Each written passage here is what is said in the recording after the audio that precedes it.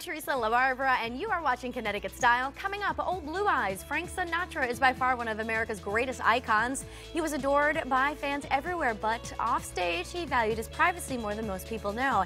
In the book, Sinatra and Me, The Very Good Years, his closest confidant, the late Tony Consiglio, tells the story. We'll talk to the man that interviewed Tony, Pulitzer Prize nominated author Franz Douskey. And cooking with love, comfort food that hugs you. I recently spoke with Carla Hall about the inspiration behind her new cookbook. And I'm here in the kitchen with cooking instructor Heidi Lang. Heidi, we're getting Hi ready there. for How are Thanksgiving, aren't we? We certainly are. Right around the corner. It what are we making today? We are making the coziest pumpkin soup ever. I love that. It has cinnamon and a little cayenne and shallots and onions, and the color is just beautiful. I feel like it would be a great appetizer. Oh, it right? would be a great starter or a great appetizer when, you when your guests first come to sit down at the table. It will just warm their soul and get them ready for the the uh, the meal ahead. Very good. All right, Heidi, let's start the show. Look right into camera two. Tell everyone what they need to do. So sit back, relax. You're having lunch with Connecticut style.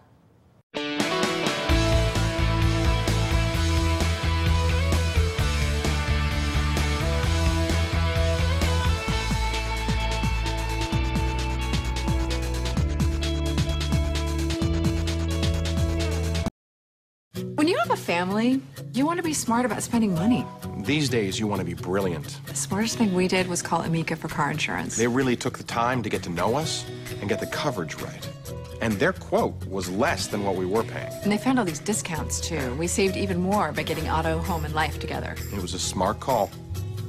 It was a genius call.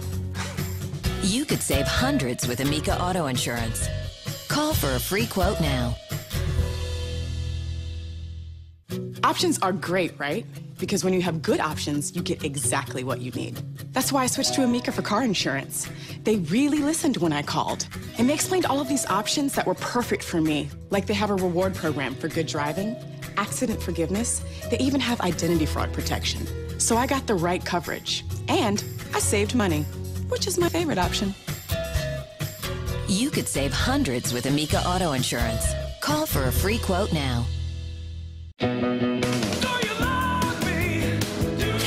Have loved sharing delicious meals made with Hood Sour Cream for more than 160 years. They know they're sharing the best because they love Hood's rich, creamy taste. And love that it's all natural, with no artificial ingredients or preservatives. So share some smiles with all natural Hood Sour Cream. Always good. Always Hood.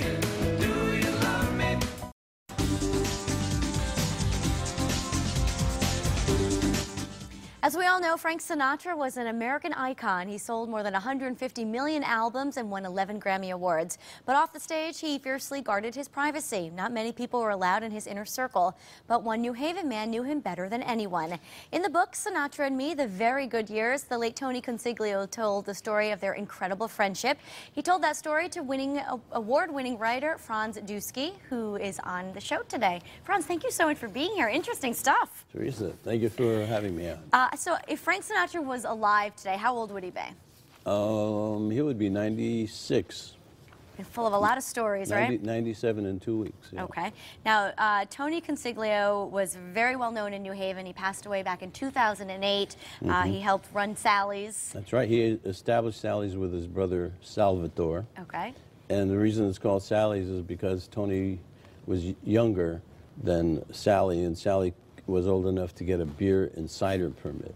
So it got to be Sally's. Got it. Now, how did you become friends with Tony? Well, that was just uh, accidental. I used to go to Sally's restaurant, still do, quite a lot. One Sunday afternoon, Ruthie was on the phone. Then she came over to me and said, Franz, uh, my uncle's on the phone. And I had heard a lot about Tony, and are photos of Tony with Frank and uh, Joe Kennedy and a whole bunch of people at the restaurant. And so I got on the phone, and Tony said, uh, I said hello, and Tony said, Hey, Ruthie says you're all right, which meant I passed some kind of standard. So they trusted you. So I could you. be trusted, right. Because Tony never really talked about Frank at all. No, even though uh, a number of writers had sent him checks and, and said they wanted him to uh, work with them on the book, Mm-hmm. but uh, Tony never did. He sent the, he sent the checks back. So what happened? Uh, you went over there. They invited you over. You were going to chat. Yeah, I was going to have a brief talk. It was uh, the following Tuesday. and uh, I thought I might stay there an hour, hour and a half, and it turned out we stayed, I stayed there four and a half hours. And Tony kept bringing out all these incredible photos that no one had ever seen before. Tony with uh, Martin and Lewis and Pierre Salinger and Tony Bennett, and uh, you, uh, you name it. And uh, I was just amazed. And then we started talking, and I said, Well, Tony, uh, here's how I work. I interview people, I do it on a recorder, I type it up, and then I give it back to the person. They can say, hey, this is what I meant, you didn't get it right, or. That's great. You give them a second chance to kind of fix anything they might not have Oh, wanted to say. absolutely, because I don't want any problem, I don't want any headaches, and I'm not out to hurt anybody, to expose them. or- Sure. I want it right. All right. Well, let's uh, let's talk a little bit about uh, Frank because you learned we saw him in the spotlight, but he was actually kind of a private guy. Very, yeah, very, uh, very private. He, I mean, he liked partying with his friends, Mm-hmm. uh, whether it was Sammy, Peter, Dean, uh, Shirley MacLaine uh, was part of that whole thing. And if we look back far enough, it would be Ernie Kovacs, of course, and Edie, uh, Edie Adams. Uh, yeah, uh, but other than that, he really liked to control his situation. In other words, even when he went out to a restaurant, he would have Tony go the, to that particular restaurant earlier in the day to find out what is there another way we can get out of here without going through the main re, uh, entrance if there's a if there's a crowd. Sure. So he was, he really liked to control his privacy. And what did Tony tell you about other of the uh, any other famous people that uh, he might have hung out with? Oh well, I mean, where do we start? Uh, Grace Kelly, Prince Rainier. Uh, uh, as I mentioned, he was with Joe Kennedy the night of at uh, at the Kennedy compound in Hyannisport the night of uh, Kennedy's election in November of 1960, and Tony said. The, this, it was decided when Chicago came in for Kennedy, and that gave him Illinois. Tony said, "Mr. Kennedy, how are we going to know? no one's going to know I was here, so could we take a picture? So in our book, we have a picture of uh, Tony with uh, Joe Kennedy, and Joe Kennedy's in his bathrobe. It's, uh, Wow. But we have a, a lot of unpublished photos in the book and some wonderful letters. Now, did you plan on writing a book, or you just had so much information? What was the initial thought? Well, the initial thought was, well, I think I'll meet Tony. the initial thought after a discussion, maybe we'll do an article. We did an article for Yankee Magazine called The Man Who Knew Everyone, because Tony, in a sense, is our Zelig. I mean, he, has, he was in the dugout with Lou Gehrig the day Lou Gehrig gave his uh, famous farewell speech on July 4th, 1941. Um, I am the luckiest man in the world. Well, we have that photo in the book. Wow. So what's interesting about Tony, he has a lot of connections, but also he's got the photos to document so much of this, and that, and then also lots of letters Sure. from uh, Evelyn Lincoln and Bobby Kennedy and uh, Sammy Davis This is just Jr. fascinating stuff. It, you know, it, I really love this book, Mm-hmm. only because it's so funny. A lot of funny stories in it. Where, where can we find the book? Well, it's um, we know it's uh, at R, R.J. Julia's, of course, Okay. Barnes and Noble, online Barnes and Noble, Amazon. It's We're pretty trying- readily available then, right? Yeah, we're putting it. Uh, it's in four formats. Oh, wow. All right, there's a picture of the book. The name again is Sinatra and Me, The Very Good Years. Franz, that was great. Really fascinating stuff. We could keep going forever. we'll Well, have to I read the book, so. I guess. Yeah, we will. Yeah. All right, thanks so much for being here. Hey, it's a pleasure. All right. Thank you a whole lot. Sure thing. Yeah. Coming up next, cooking instructor Heidi Lang is here with a delicious recipe for pumpkin soup. That's when style returns. Don't go anywhere.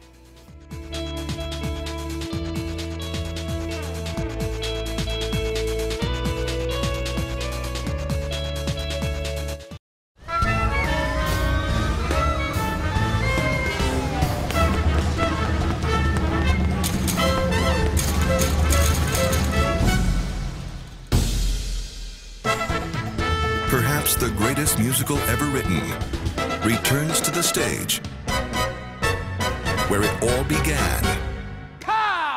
West Side Story. Coming to the Waterbury Palace Theater November 24th and 25th. For tickets, go to palacetheaterct.org. If you're ready to get more from your TV service, now's a great time to get AT&T Uverse TV. Make the switch. Call now to get AT&T Uverse TV for only 29 a month for six months with a total home DVR included free for life. Plus add HBO and Cinemax and get the first three months free. With Uverse TV, you can record four shows at once with a total home DVR that lets you play back, pause, or rewind your shows from any room. Get over 170 HD channels. That's more than cable. Call now to get AT&T Uverse TV for only 29 a month for six months with a total home DVR included free for life. Plus add HBO and Cinemax and get the first three months free. And now, exclusively from AT&T, our wireless receiver lets you move your TV where you want around the house, even outside, so you're no longer tied to the TV outlet. AT&T Uverse TV like you've never seen before.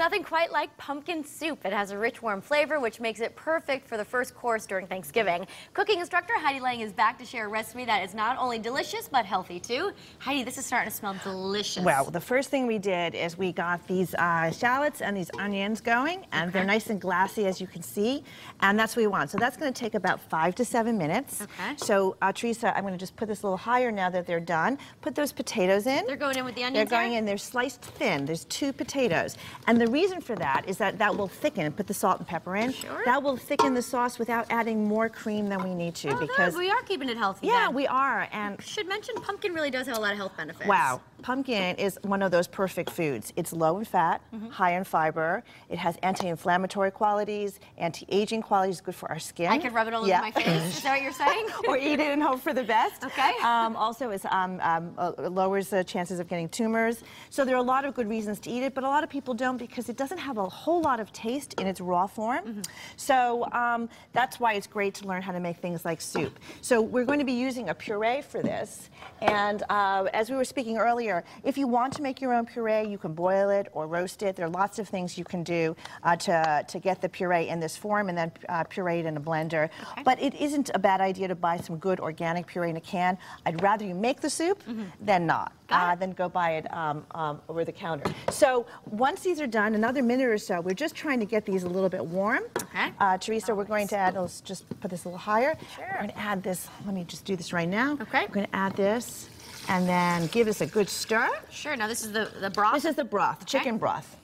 If you are vegetarian and you'd like to use uh, vegetable broth, not a problem at all. It will have a different flavor, but also superb. Still good. Superb. Now, after this boils for about 15 minutes, Okay. uh, we're going to let it go to a boil.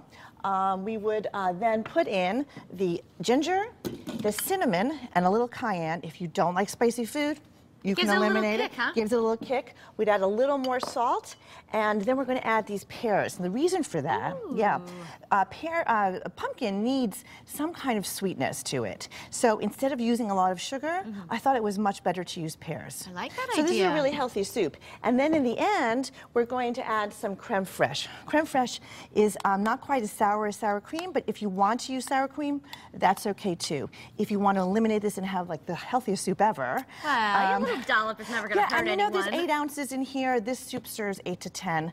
I highly recommend it. Okay. okay? So after the soup is done, uh, this boils. Mm-hmm. We add the peppers. I mean, excuse me, the pears and the ginger. Ginger is key. How did you get the ginger like this? Ah, okay. So we have uh, this immersion blender that also comes with a chopper. Oh. And we just put in a little chopper and it just goes zzz, and before you know it, we have this ginger. Okay. If you don't have that and you want to use powdered ginger, dry ginger, by all means. So, voila.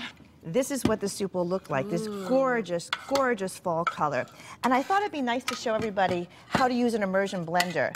If you don't have an immersion blender, I always tell my students it's one of the best tools in a kitchen. It doesn't get messy. I feel like it might go. It doesn't. I'll show you. Uh, Maybe just when I'm doing it. So you want one that has two powers, low and high. Okay. And you would, all of this stuff would still be kind of solid, right? This is already smooth, and we would just make this sound. But as you can see, I'll stop talking for a second. especially if you have a deep pan, it won't splash. Sure. And what's great about this is if you use a food processor, now you've got six other tools That are already dirty, that are right? dirty and all these pieces and parts. So I like using this because it saves me a lot of time. Easy cleanup. Yeah, and we don't want to spend more time in the kitchen. We want to spend time with our guests. That's true. Let's talk about Thanksgiving. Yes. Uh, how do you prepare for this? It seems like it would be overwhelming. I've never cooked a Thanksgiving Mm. dinner. You know, even for me, and I'm having 23 people over, it is Wow. can be overwhelming. so the key is to plan ahead. Okay. Uh, so think about make your lists, make your grocery lists, your decorating lists, and all of those things. And then the most important thing after you have your lists Mm-hmm. is to think about what you don't want to do.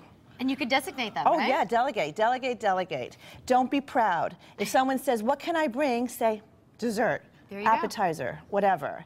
So that, that is key. And then the next thing that's really key Mm-hmm. is to make sure that you um, start making things a day or two ahead. Okay. So half of what we have on Thursday will be actually made Tuesday and Wednesday, so that the morning of showtime is really about the turkey. Just putting that turkey in the oven, yeah, and right? Everything is already decorated, and everything, Well, it's all, all you the really could do the table at any point, right? Because not everyone sits at the dining room table. We're doing it today, as a You matter are? of fact. Yeah. It's after, always fun, though. Do you yeah, do little table evening, seatings? Uh, we do little table seatings. We have all kinds of little baskets and cute things. Look through magazines. Pinterest now, of course, is great for could get great ideas. ideas. So always plan ahead, and um, and then make sure Mm-hmm. once the day comes that you have a nice glass of white wine and you enjoy the day. I think that's because important. The chef it really is. It is.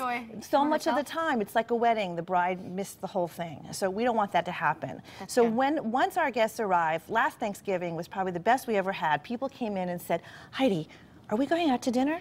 Oh, every- really? yeah, it was incredible.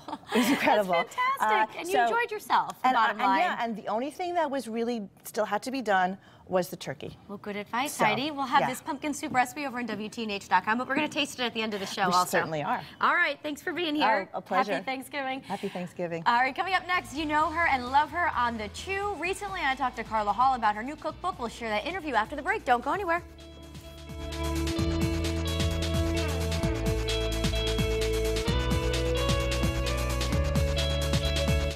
Medical marijuana. It's now legal in Connecticut. But who will regulate it? And who will dispense it? If you've got questions like these, News 8's got your back. Tonight at 11. When you've got a concern, I want to know about it. When you've got a problem, I'm going to try and solve it. I work for News 8. Which means I work for you.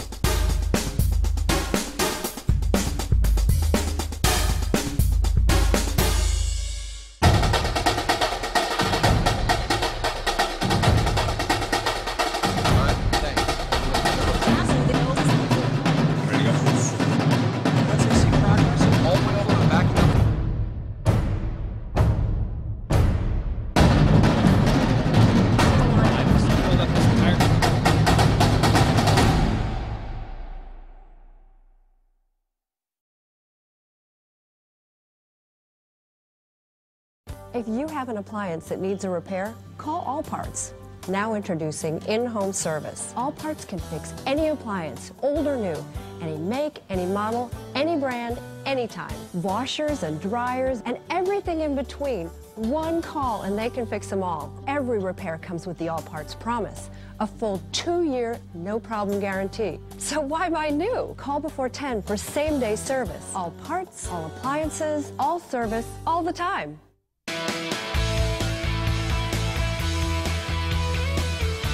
America fell in love with Chef Carla Hall when she cooked her way into the season five finale of Bravo's Top Chef. Her fans get to see her every weekday now on ABC's The Chew. Carla joins me now to talk about her debut cookbook, Cooking with Love Comfort Food That Hugs You. Welcome, Carla. This is so exciting. I love the title.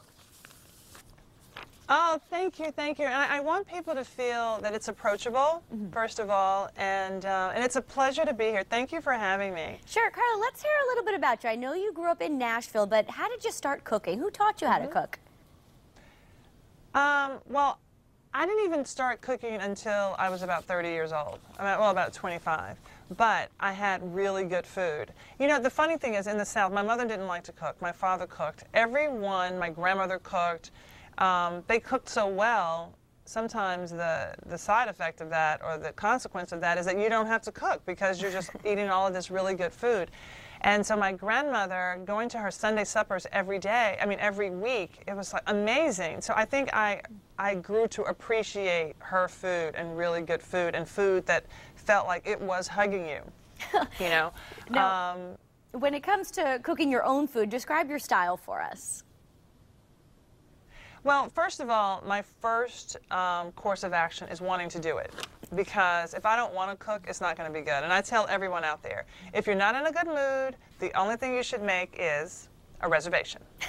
that's great. And that's the first thing. Yeah, you have to want to do it. And, and so I, I am present. When I'm making my food, I am present. If I'm peeling a carrot, I'm thinking, I am here, I'm peeling a carrot. You know, I'm not trying to rush through it. Mm-hmm. So, I mean, I think that's the key. And I, and I want to, to nurture people with food. Now, Carla, uh, your new cookbook, we see it right next to you. What are some of your favorite recipes in it? Oh, wow. Um, the um, smothered pork chops, the slow cooked smothered pork chops that my grandmother did. Um, I love the skillet cornbread, which is flourless. It is not fat free, but it is flourless. Um, the desserts, my grandmother's five flavor pound cake, which she used to send to all of the grandkids. So when I'm in college, when I was in college, she would send this cake, and it would be wrapped in, you know, plastic and wax paper and foil and, and paper towels. And I mean, it took you probably a day to unwrap it, but it was so good, and that's in the that's in the book. Very good. Now, I understand you also include catering tips like Carla. Can you give us some of those examples? Yes. Yeah, for instance, if you're feeling, let's say you have a party and you need to fill your soup bowls or like little um, serving soup in um, little shot glasses or espresso cups. The best thing to do is to put it in a pitcher. You like, you pour it. Um, or if you're doing um, uh, the, the pastry bag, putting putting or filling things, but you're putting it in a pastry bag versus going from the spoon to the bowl, spoon to the bowl, spoon to the bowl. I know I can do that 10 times. So that also is very quick. Searing meat in a pan and finishing it in the oven, that's sort of a, a restaurant trick. Um, so those are some of the, the tips that I give you, and it's just to make your life easier and more efficient. Yeah, they're very helpful. Now, the Chew airs right after Connecticut Style, and it seems like you and your co-hosts have a lot of fun. You're, you have great chemistry. What's it like to work on the show, besides all the great meals you get to have? Oh my gosh, it is so much fun. It's a party. It truly is a party in the kitchen. And I think the more that everyone becomes comfortable with each other, the more that we are ourselves, we learn so much more about people, uh, about each other, that you don't, you don't know where the show's going to go. Some, what's so funny is sometimes I'm like, you know what? And they're like, oh Lord, what is she going to say? They have no idea, but because I'm feeling comfortable, yeah, I don't even know sometimes what I'm going to say, but you just feel that you're supported. So wh wherever you are, you know they're going to accept you, and we're just going to go with it. Yeah, and it's just a beautiful thing. And you, a lot of times, as the viewer, you're watching all of this happen and unfold. It's so much fun to watch. Now, I have time for one last question. I want to ask you, are you getting ready for Thanksgiving? Are you cooking a big feast this year? I am. Thanksgiving is at my house this year, so I am planning. I'm going to introduce a couple of dishes. Mario's doing this Alsatian Thanksgiving. Who knows? I, it, it inspires me to do something out of the box, but I have to do some of the tried and true dishes because I don't want there to be a mutiny, you know, in my house. So I'm looking forward to it. Very good. All right, Carla, we're out of time. The name of the cookbook is Cooking with Love. Thank you so much for being here. We really enjoy your show here. Thank you so much for having me. All Have a good weekend. You too. More Connecticut Style after the break. Stick around. We'll be right back. Save big this Black Friday at your local Goodwill. Shop on Friday, November 23rd to save 50% on your entire purchase. Visit ctgoodwill.org for participating stores. Good stuff, good price, Goodwill. At Carter Mario, most of our clients call us within four days of their car accident. Why? Because they know the clock is ticking to get the money they deserve. And they know the right medical care now could mean a faster recovery. So, how long's it been since your accident? And how long have you put off calling a lawyer? Don't wait any longer. Get Carter right now. 1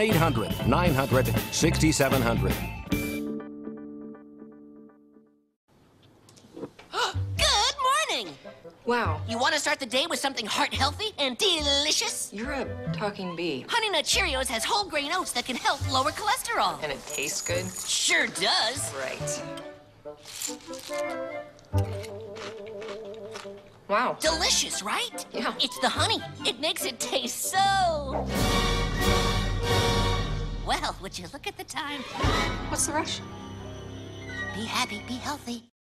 Save big this Black Friday at your local Goodwill. Shop on Friday, November 23rd to save 50% on your entire purchase. Visit ctgoodwill.org for participating stores. Good stuff, good price, Goodwill. The new song, It's Thanksgiving, hit YouTube a little more than a week ago, and the video already has more than 9 million hits. But not everyone's giving thanks for the song. ABC's David Wright has more. She's 12, she's got a turkey leg, and boy, is she thankful. Eggs, potatoes, eggs. Nicole Westbrook has a hit. Thank you, thank you. Since this pint sized Martha Stewart served up her YouTube video last Wednesday, It's Thanksgiving has racked up 4 million views. Yo, it's Thanksgiving, giving. More than 9,000 thumbs up, I gotta give thanks to you and you and you. but more than 70,000 thumbs down. A lot of people seem to think this song's a turkey. Some are even calling it the worst song ever. As Thanksgiving dinners go, this one's kind of bizarre. Where are the grown ups, for one thing? I don't know why they weren't there, but I'm kind of glad they weren't. Instead of a family feast, this is more like a tween dance party. And who's that guy? The guy who wrote the song and produced the video. That's who. Patrice Wilson, the same guy responsible for last year's teen viral video sensation, 13 year old Rebecca Black. There's no recipe for viral success. You can't necessarily create for it, but you know it when you see it. Rebecca Black also had a tough time from the critics, but also more than 42 million views on YouTube, a number that must make those 800,000 dislikes easier to swallow. Honestly, I don't care what the critics think, and if they can say whatever they want, I mean, they're entitled to their own opinions. Turns out Nicole Westbrook has no idea how to roast a turkey. I usually don't cook, so I don't have many tips for you there. But she sure is thankful for all the attention. What the controversy is. Oh, what's the? I mean, it doesn't seem too bad. It's No. just fun. It's like the turkey There's song, the nothing- Adam Sandler song. And, and what's Yeah. interesting is you don't have to turn it on. Yeah, No, don't watch I mean, it. it's not like- exactly. It's true. You don't have to listen. No. All right, how we finish out this pumpkin soup, Uh, Heidi? yes, um, well, I'm just going to give uh, Fran a, a taste of the soup. Very good. And some for you too, Teresa. delicious. Franz, one more time, the name of the book and where we can find it.